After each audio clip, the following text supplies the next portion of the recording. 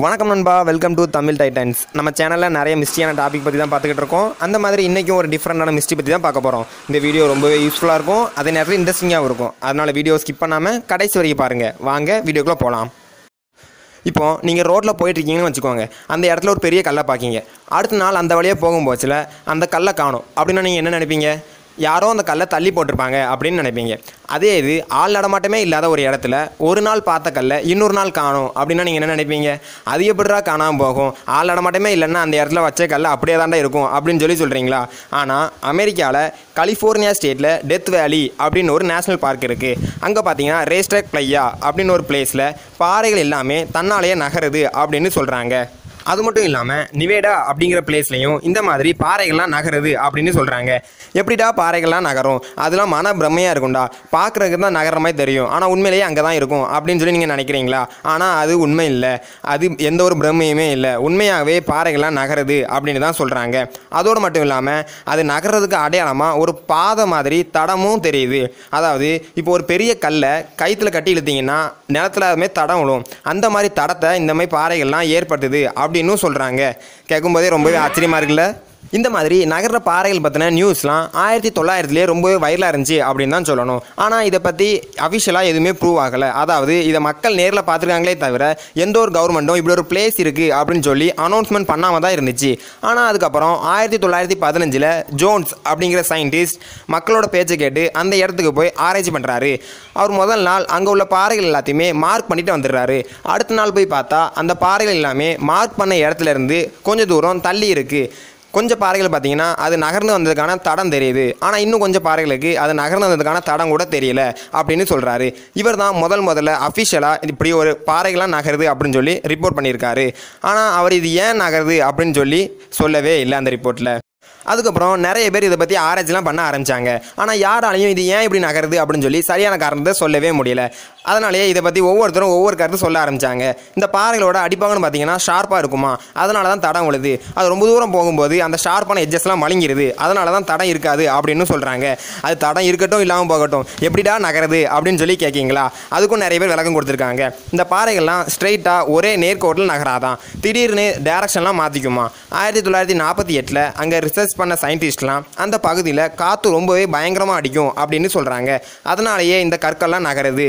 அதனால தான் அந்த டேரக்ஷனும் சேஞ்ச் ஆகுது அப்படின்னு சொல்கிறாங்க ஆனால் இது யாராலையுமே ஏற்றுக்க முடியாது. ஏன்னா அங்கே உள்ள கற்கள் எல்லாமே முந்நூறு கிலோ வரைக்கும் வெயிட்டில் இருக்கும். அப்படி வெயிட்டான கற்களை அந்த காற்று தான் தள்ளிட்டு போகுது அப்படின்னு சொன்னால் யார் தான் நம்புவா? அது மட்டும் இல்லாமல் இந்த பிளேஸ்னு பார்த்தீங்கன்னா ரொம்பவே ஃப்ளாட்டாக இருக்குது அப்படின்னு சொல்கிறாங்க அதாவது எந்த ஒரு மேடு பலமுமே இல்லாமல் அளவெடுத்து கட்டின மாதிரி ரொம்பவே சமமாக இருக்குது அப்படின்னு சொல்கிறாங்க இன்னும் சில பேர் இந்த பாறைகளுக்கு கீழே களிமண் மாதிரி பிசு பிசுப்பாக ஏதோ இருக்குது அதுதான் இந்த பாறைகள் எல்லாத்தையுமே நகர்த்துது அப்படின்னு சொல்கிறாங்க ஆனால் அதுக்கும் எந்த ப்ரூஃப்மே இல்லை. இன்னும் நிறைய பேர் அந்த பகுதிக்கு கீழே ஒரு ரிவர் போகுது. அந்த ரிவரில் உள்ள வாட்டர் ஃப்ளோ ஆகிற டேரக்ஷனுக்கு ஏற்ற மாதிரி தான் இந்த பாறைகள்லாம் நகருது அப்படின்னு சொல்கிறாங்க ஆனால் அப்படி எந்த ரிவருமே அந்த பகுதியில் இல்லை. இந்த மாதிரி நிறைய பேர் வெவ்வேறு கருத்துக்களை சொல்லிக்கிட்டே தான் இருந்தாங்க. ஆனால் இதை பற்றின உண்மைகள் எல்லாமே ஒரு மர்மமாகவே தான் இருந்துச்சு. ஆனால் இந்த மர்மம் ரொம்ப நாளுக்கு நீடிக்கல அப்படின்னு தான் சொல்லணும். ஏன்னா ரெண்டாயிரத்தி பதினாலாம் வருஷம் இதுக்கான மர்மத்தை James Norris and Richard Norris அப்படிங்கிறவங்க கண்டுபிடிச்சிட்டாங்க. இதை அவங்க ஒரு எக்ஸாம்பிளை வச்சு அழகாகவே சொல்லியிருக்காங்க. இப்போ இந்த ஆர்டிக் அண்ட் அண்டார்டிக் பகுதிகளெலாம் பனிப்பாறைகள்லாம் தண்ணி மேலே மிதந்துக்கிட்டே ஒரு இடத்துலேருந்து இன்னொரு இடத்துக்கு போகும். அதே மாதிரி தான் இங்கேயும். அதாவது இந்த பகுதியில் எப்போமாவது தான் மழை பெய்யணும்னு சொல்கிறாங்க அப்படி பெஞ்சா ரெண்டு இன்ச் அளவுக்கு இருக்குமா? இந்த பிளேஸை களிமண் நிலம்னு சொல்கிறாங்க அதாவது மழை பெஞ்சா தண்ணி சீக்கிரமாகவே தேங்கி நிற்குமா இந்த மாதிரி அங்கே தேங்கி நிற்கிற தண்ணி குளிர்காலத்தில் பனிக்கட்டியாக மாறிடுமா? அந்த அளவுக்கு இங்கே குளிர் பயங்கரமாக இருக்கும் அப்படின்னு சொல்கிறாங்க அதோடு மட்டும் இல்லாமல் அங்கே காற்றும் ரொம்பவே அடிக்கணும்னு சொல்கிறாங்க இப்படி உடஞ்ச பனிலாம் காலையில் அடிக்கிற வெயிலில் உடஞ்சிருமா? இந்த உடஞ்ச பனிக்கட்டி அங்கே அடிக்கிற காற்றுல ஒன்றோட ஒன்று மோதி நகருமா? அப்படி உள் அப்படி இந்த பாறைக்கு கீழே உள்ள பனிக்கட்டிலாம் நகரும்போது தான் அந்த பாறையும் நகருது அப்படின்னு சொல்கிறாங்க அதோட இந்த பாறைகள்லாம் நகரும்போது பயங்கரமாக சத்தம் கூட வரும் அப்படின்னு சொல்கிறாங்க அது ஏன்னா இந்த பாறைலாம் நகரும்போது அதை சுற்றி உள்ள பனிக்கட்டி உடையிறதுனால தான் அந்த மாதிரி சவுண்டு வருது அப்படின்னு சொல்கிறாங்க பனிக்கட்டின்னு சொன்ன உடனே ஆர்டிக் அண்டார்டிக்கில் இருக்க மாதிரி பெரிய சைஸில் நினச்சிடாதீங்க. இது எல்லாமே ரொம்ப சின்ன அளவில் தான் இருக்கும். நிறைய பனித்துளிகள் சேர்ந்து ஒரு சின்ன லேயராக தான் இருக்கும். இது அவங்க பனி வில்லை அப்படின்னு தான் சொல்லவே செய்கிறாங்க அதோடு மட்டும் இல்லாமல் இந்த பாறைகள் எல்லாமே குளிர்காலத்தில் தான் நகருமா? ஏன்னா வெயில் காலத்தில் பனிக்கடியே உருவாகாதுல்ல அப்போ எப்படி அதெல்லாம் நகர முடியும்? அந்த பகுதியில் கிட்டத்தட்ட அறுபது பாறைகள் இந்த மாதிரி நகருது அப்படின்னு சொல்கிறாங்க ஒரு நாளைக்கு இதெல்லாம் பதினஞ்சு அடி வரைக்கும் நகருமா? இந்த மாதிரி இந்த நகர பாறைகள் பற்றின எல்லா உண்மைகளையும் அவங்க கண்டுபிடிச்சி அஃபீஷியலாக அனௌன்ஸ்மெண்ட்டும் பண்ணிட்டாங்க.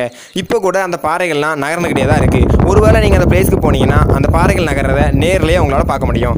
ஓகே ஃப்ரெண்ட்ஸ் இன்றைக்கி வீடியோ முடிஞ்சது. இந்த வீடியோவில் நிறைய யூஸ்ஃபுல்லான இன்ஃபர்மேஷன் கிடச்சிருக்கும்னு நம்புகிறேன் இந்த வீடியோ பற்றின உங்களோட கருத்துக்களை மறக்காமல் கமெண்ட்ல லீவ் பண்ணுங்கள் இந்த வீடியோ உங்கள் எல்லாத்துக்குமே பிடிச்சிருக்கும்னு நம்புறேன். இந்த வீடியோ உங்களுக்கு பிடிச்சிருந்தா மறக்காமல் லைக் பண்ணி சப்போர்ட் பண்ணுங்கள் இந்த இன்ஃபர்மேஷன் எல்லாத்தையுமே உங்கள் ஃப்ரெண்ட்ஸும் தெரிஞ்சுக்கணும் அப்படின்னு நினச்சிங்கன்னா மறக்காமல் அவங்களுக்கும் ஷேர் பண்ணிவிடுங்க இந்த மாதிரி இன்னும் நிறைய யூஸ்ஃபுல்லான இன்ஃபர்மேஷன்ஸை தெரிஞ்சுக்கணுன்னா மறக்காமல் நம்ம சேனலை சப்ஸ்கிரைப் பண்ணிக்கோங்க.